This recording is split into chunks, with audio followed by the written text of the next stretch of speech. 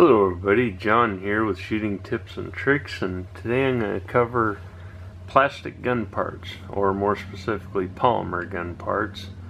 To be going over how they're made and what types of material they use to make them.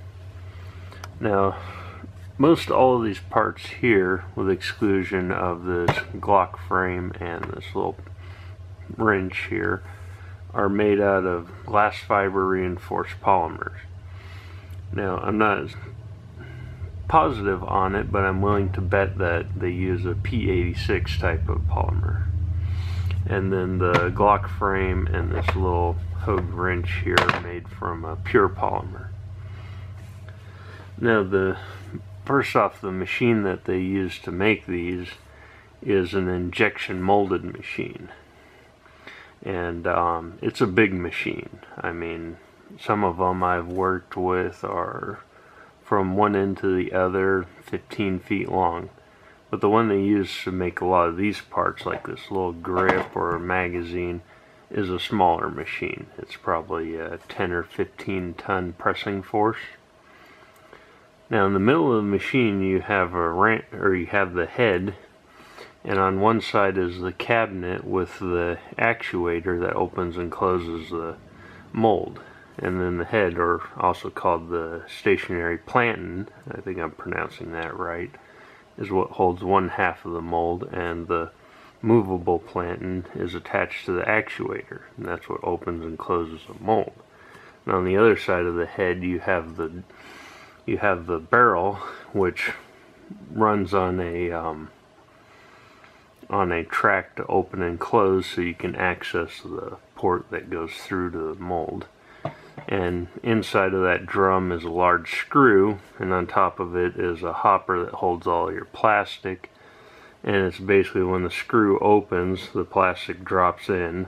There's a heating coil around the barrel that heats the plastic up, and then the screw goes forward and it forces the plastic, or the molten plastic, through the hole into the mold and it and it's under significant force. Um, usually they go by tons like the smaller machines are 10 to 15 ton.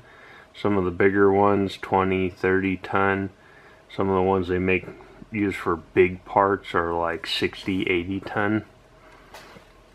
Now the most basic mold you're gonna see is stuff used for like these this little Hogue two-piece wrench here. And this is just a two-piece mold, opens and closes, drops parts out when they're done. And if you look at any molded part, there's a few features that give away how it was made. And the main, and one of them is all these little indents. Here, I'll show you a little closer. See, there's indents all over here. Then they're out here and even way out on the end. These are push pin marks. Now the push pin is inside the movable planton and what happens is when it's um, when the planton's closed there's a gap about usually about like that big between the mold and the head or the planton and when the mold opens that gap collapses and the pins push through into the mold and that's what knocks the part out. So that's why they have these on all these spots here, so they get an even push across the part and don't cause any twisting or breakage on it. Now, on the other part of the part, you'll see this little gnarled spot right there. That's the ejection port. That's basically the opening on the mold where the plastic goes through the head and into the mold cavity and all parts have those. You can see this little half has the injection port there has the pin marks here. And you can tell polymer parts because they have a good deal of flex to them without breaking. But it's a soft flex unlike plastic parts that feel like they're going to break when they flex. Now getting into the more detailed molding process we get into our magazines and even this grip here. Now I'll start with the grip because it's a pretty basic one. And these use a multi-part mold where basically you have the main two halves of the mold that open and close but you also have inserts. And on this grip you'd have an insert that goes into the top and one that goes up into the bottom. And that's how you get these cavities so then when the mold opens part drops out they pull the inserts out. Those go back into the mold and they toss the part into the bin. Now and that's the same with magazines as well like this Tapco mag and this Magpul mag. It's just the like this Magpul is going to use a large insert that goes up into the cavity here and it goes all the way up to the top and it probably has a mounting bracket up on this end that fits through the feed lips. So after the part's done it'll drop out and they'll yank the insert out. And just with all others, you look at it, it's got your pin marks here and then the little bottom plate has the ejection port right there and yep and I'm not sure where the pin marks are on it probably on the inside. But on this guy the injection port would have been right here but you can see they filed it off. It's a nice little feature with better parts. And even this little cover plate you got the injection mark there. And pin marks are probably inside. Yep, there's the ejection pin, or the push pins. Yep, so that covers that guy. And this Tapco is going to be about the same. Now if you wonder why this Tapco's look different than the Magpul as far as the texture and the look, well, that's just because they run the mold colder with these, so it doesn't get that molten, smoothed over look when it goes into the mold machine. And that's uh, to save money on power and preserve the life of the mold. Because you run them hotter, they wear out quicker, because the hotter the metal gets, the softer it gets. And most molds are made out of aluminum, so heat is one of the enemies for it. It absorbs heat really easy, but once it gets past a certain temperature, it starts to soften up. Now, I'll go into this guy. It's a CMMG 22 mag. And you can see like with other parts, you got your little injection ports there. But interesting thing with this it's got a little pin in there to restrict it for California. Now when you look at the inside of this guy, you can see all these track marks going along here and they're even down in the cavities here. There's all your push pin marks from the mold. But all these track marks are passes that were made with a milling machine. Now they didn't mill this part because that wouldn't be cost effective. But these are repair marks done on the mold. After it wears out, you get like little dimples and pitting and stuff like that. And what they'll do a lot of times is actually weld over that area to fill it. And then they'll put it on the milling machine and shave it off flat. And that's where you get these little mill passes on here.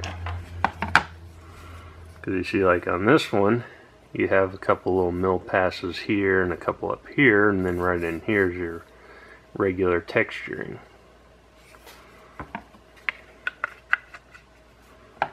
Right. Now, this polymer 80 frame, as with any other, it's done pretty much the same. The only difference is the quality of the work.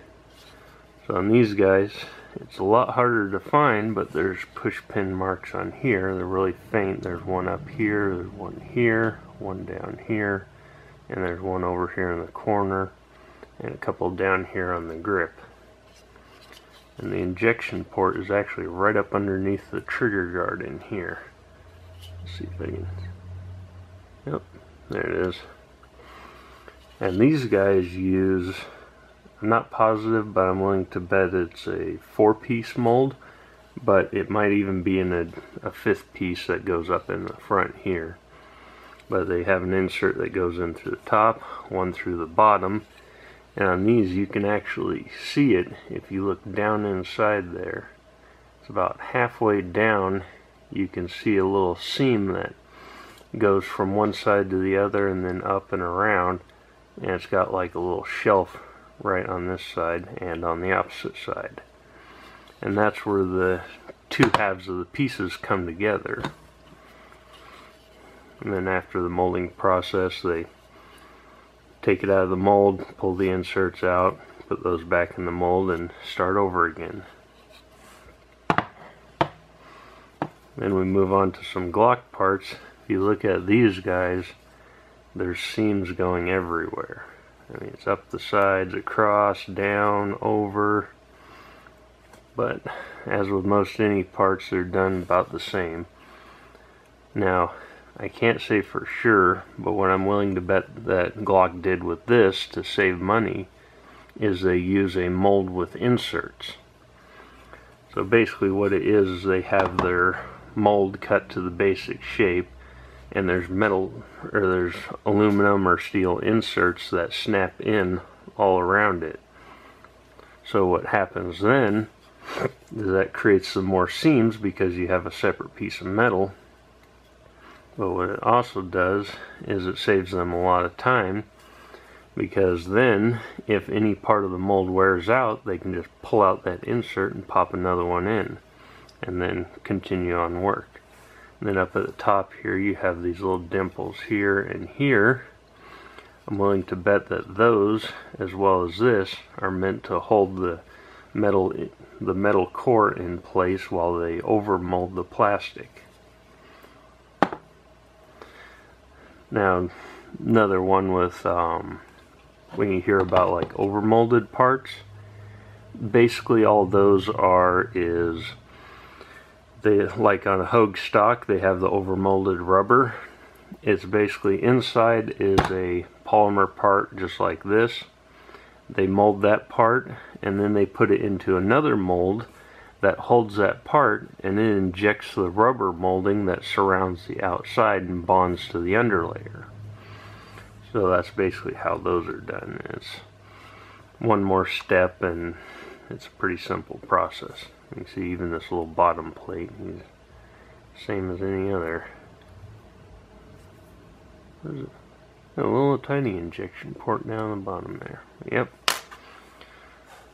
So that's about it for the whole process. And I've had people ask me before the difference between like a Glock frame and like the P80 frames. Like the difference between a pure polymer and fiber reinforced. The pure polymers, the process Glock uses, um, it's a chemical process that strips the oxygen from the polymer, making it stronger. Any, um, and it saves them having to use a fiber reinforced polymer but it also does make it flexible. You see like this front you can actually flex them when you torque on them a little bit and like these parts which are cheaper polymer they're nice and flexible. And this Glock frame is done just like any other. The only difference is the quality of the work. So it has a seam going up the middle and they use the inserts for it as well the Glock logo since it's nice and smoothed over and squared. That's going to be an insert on the mold as well as this guy here. And then they're going to have a part of the mold that holds these rails in place when they inject the plastic. And it's really hard to see the pin marks on these guys. Well there's one that's real obvious down here other than that, I haven't been able to find any. They probably let it cool down in the mold before they take them out, which would negate that. That and just the quality of the molds. And that's another one too with the actual mold. It has water ports going through it so that as soon as the plastic is injected in, they have cold water continuously pumping through and that cools the plastic rapidly so that they can knock the part out in the matter of probably 30 seconds or so, 40 seconds. You know, and then they can close the mold back up and start all over again. And if you ever get messed up parts, like every now and then you'll run into a one of these polymer 80s. I've heard of a few people getting some really weird ones. Um, usually what happens then is if the company has a quota and they're behind a little bit, they'll actually speed up the mold process by shaving a couple of seconds off, like three to five seconds. And in the during the course of a day, that saves them hours of work and they get much more parts done. But what happens is shaving off that time makes the mold heat up more. So when they're running cycles, the mold isn't going to be able to cool down between cycles all the way. So eventually it'll get really hot and it'll spit out a hot part.